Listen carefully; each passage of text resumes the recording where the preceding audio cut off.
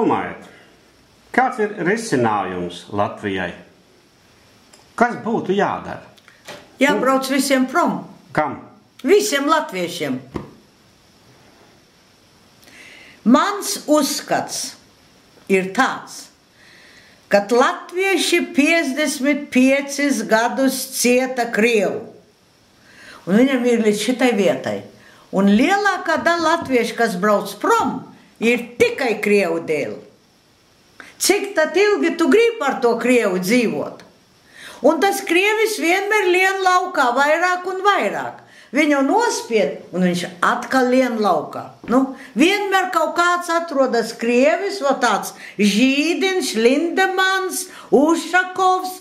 Visi šie veči, tie ir tie, kas to Latviju pos. Un Latvijas nevar Latvijā izdzīvot. Nu, nevar.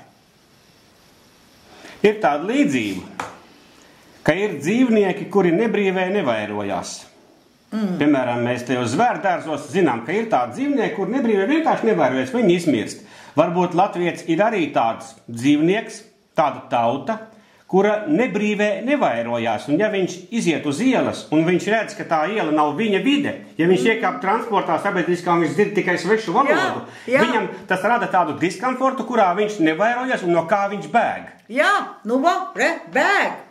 Es to esmu teikusi arī vienotības sapulcē, jo viņi tur to lietu diskusēja. Es saku, es nezinu, kādēļ jūs nesaprotat, ka tomēr tam latvietim apnicis tas krievs. A jūs krievam dot visādas privilēģijas, visādas to, tad lai viņš brauc un pērk, bet kur tad tas latviets paliek? Kur? Un ko viņi teica? Ko viņi atbildēja? Kad nu tā asimilācija notikšot. Es teicu, nekādā ziņā. Nekad nevar, šitas divas tautas nekad nevar sadraugoties, tas nekad nenotiks. Un viņi paši arī to zina, bet nu viņi mēģina, mēģina. Bet vai viņi paši jau ir sadraudzējušies? Nē, neviens. Neviens.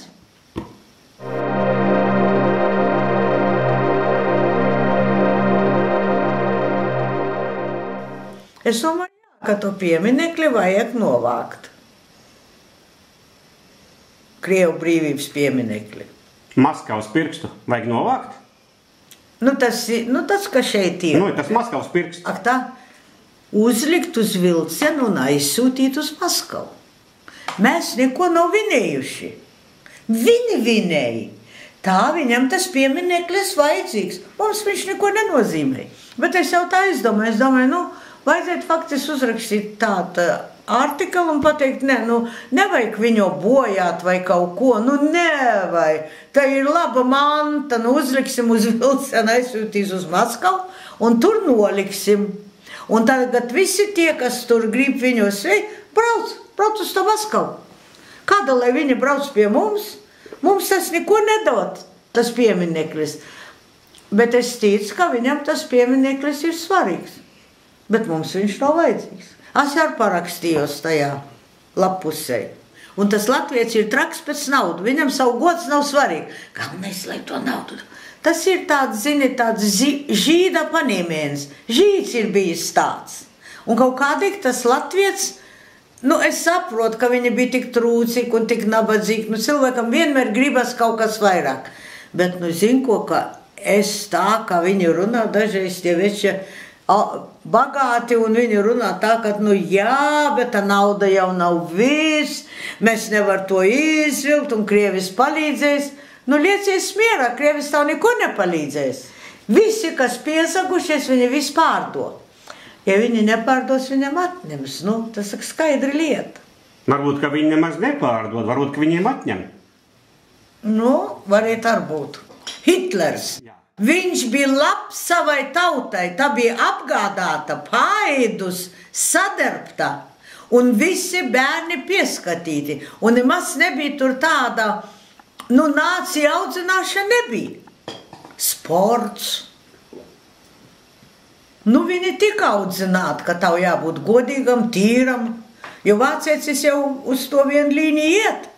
Bet, ja es ieslēdzu televīziju, ja es nopērku laikrakstu, tad man visur paziņo, ka ļaunums numur viens ir Adolfs Hitlers. Nu, kā tad, nu, bet ko tad viņi teiks, ka viņi ir vainīgi? Vai Amerika? Īstenībā brīva pasaule ir teikusi un atkārto bieži. Viss šito, kas notika, vainīga ir Amerika un Anglija. Bet viņi negrib atzīties tagad tādēļ, ka nu, viņam ir kauns, ka viņi varēja ļaut Stalinam šitā rīkoties un neko nedarīja pretim. Bet nu, kā tas bija? Roosevelts jau bija slims, tam jau šeit nestrādāja. Čērčils ar savu cigāru. Nu, viņi visi saka, es, ne, es nevaru apgalvot, bet viņi saka, ka Čērčils bija baigi nodzeries. Bet es nezinu. Nu. Bet ka Čērčils arī bija dumšs, to mēs visi zinājām. To, ko viņi izdarīja Anglijā un Amerikā, viņi negrib to atzīt, jo tad jau viņi arī būs vainīgi. Padomā, ko viņi Vācijai izdarīja. Düsseldorf. Ah?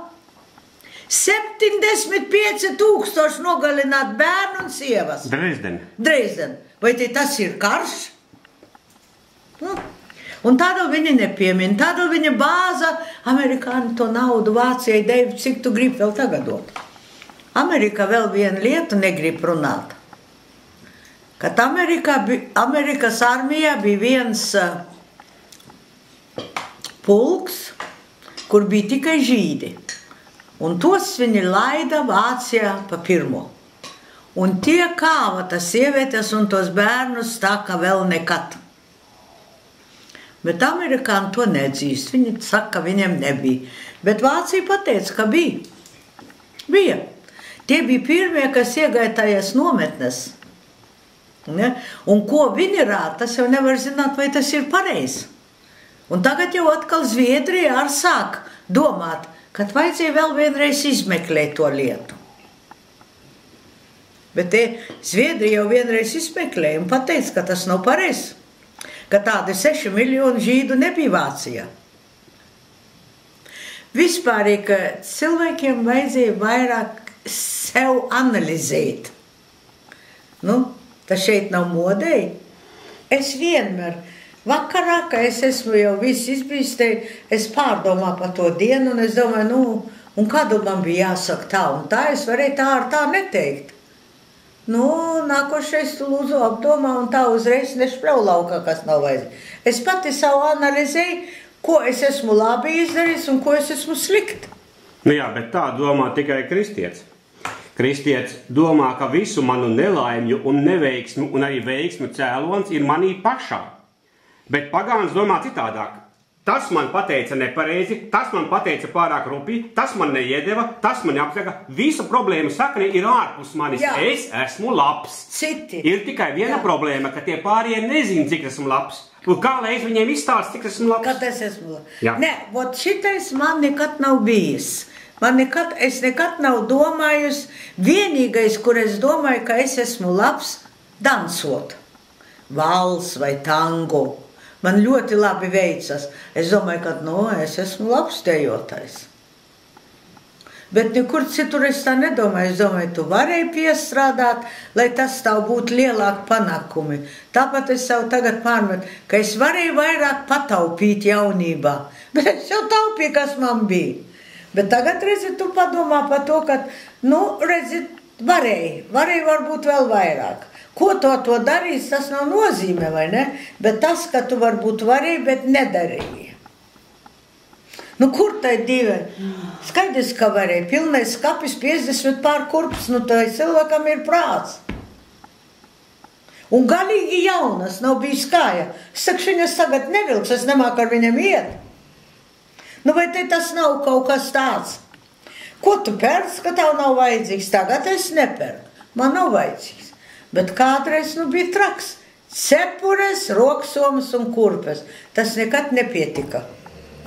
Bet aiz tā stāv milzīga industrija, kuras galvenais uzdevums ir panākt, lai cilvēks pērk. Nu, Šodien tieši tas pats. Viņš ieslēdz to televīziju, viņam uzreiz pasaka, ka tagad ir jānopērk jauns dators, jauns mobilais, jauna drēbe.